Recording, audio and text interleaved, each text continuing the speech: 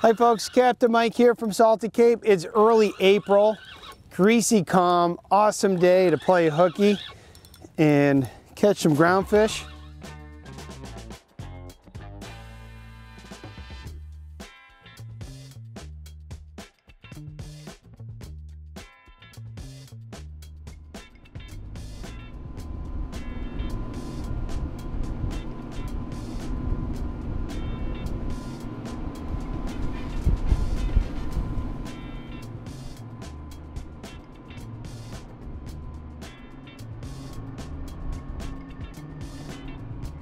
So today we're going to be using the new Hogy flutter pitch style jigs.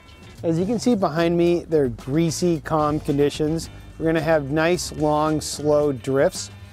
So I'm setting this rig down to the bottom. Again, I have uh, the eight and a half ounce flutter pitch with the Diesel Mack rig for you know, traction above. We just got here. We don't really know what we're in store for. We don't know what bait they're keyed in on. So we have a big bait imitation and a little bait imitation on down there. Um, we got all our bases covered, but we're gonna still fish it the same way as if it was just a traditional jig. So we're in about 200 feet of water. So we're gonna let this all the way down to the bottom. Now, this is a slow style jig. It's almost impossible to fish it too slow. I like a big rod tip up and a rod tip down. Rod tip up, rod tip down. These jigs are super simple to fish, just slow and easy. Nice and chill. There you go. That's just on the jig. Double.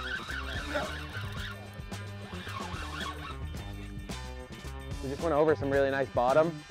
Yeah, I don't know what this is. It's funny, these fish are really keyed in on small baits. Have my fancy flutter pitch jig on, but it's funny, they want the little little teasers of the Diesel Mack rig here.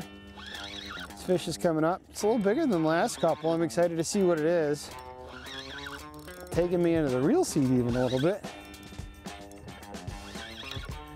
So it's either multiples on one rig or a little bit of a better fish.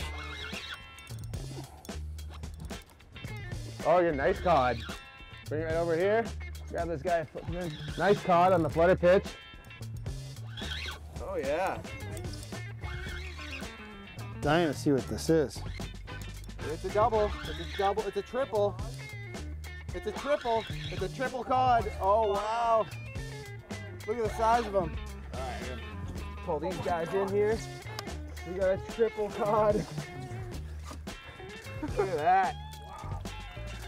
So obviously the flutter pitch is doing the doing the trick on ground fishing here on Stellwagen. And, and as you can see, uh, Max Fish uh, came in great on the uh, six and a half ounce flutter pitch.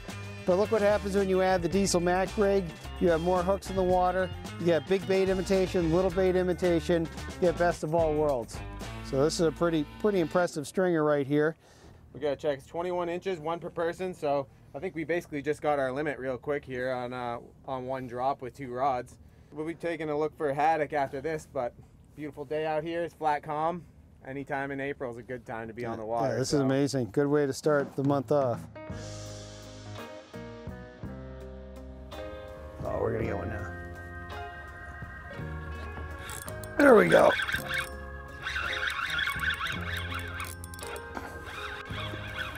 It feels like a haddock. It's a little more bouncy. Or perhaps multiple haddock. That's the one thing about using the Diesel Mack rig is you don't know how many are coming up. If you have one larger fish or multiples. Now this is just a lightweight jigging outfit. I might use a uh, reel, a little bigger reel, fishing in 200 feet of water, but this is doing the trick. It's a haddock.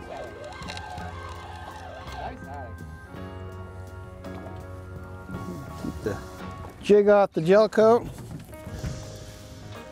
You can see this haddock came in on the teaser. These are beautiful fish, excellent eating. This guy looks like he's been hit by a shark once or twice, but now he's about to get hit with a frying pan.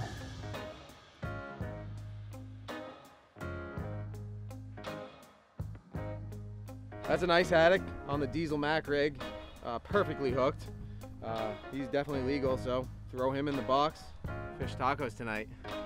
We're in a little bit of deeper water, but generally anytime you're ground fishing in say 180 plus feet of water, um, you could have uh, any variety of different bait on the bottom, anything ranging from sand eels, oceanic herring, small mackerel, shrimp, crabs.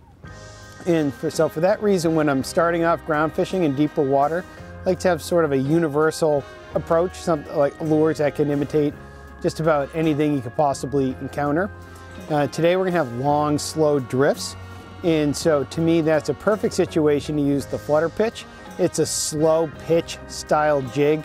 This jig, it's almost impossible to fish it too slowly. You can see these jigs come with teaser style assist hooks.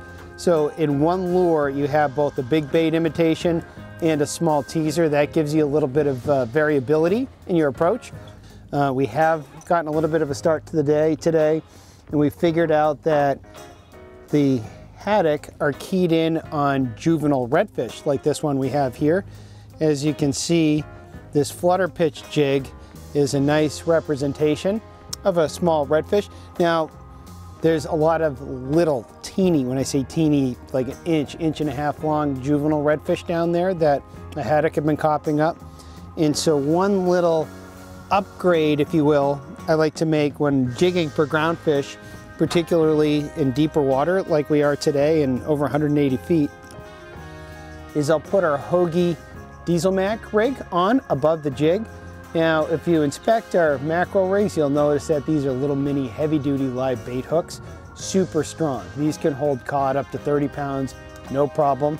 These are made with 60 pound test mono, so they'll last pretty much the whole season.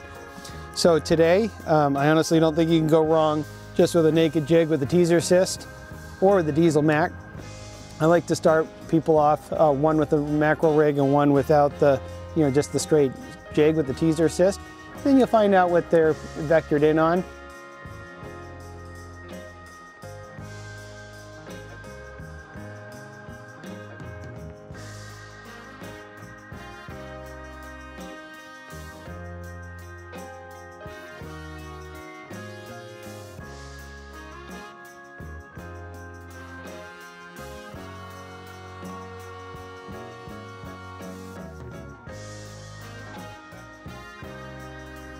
Nicer haddock here. This one just came in on a straight jig.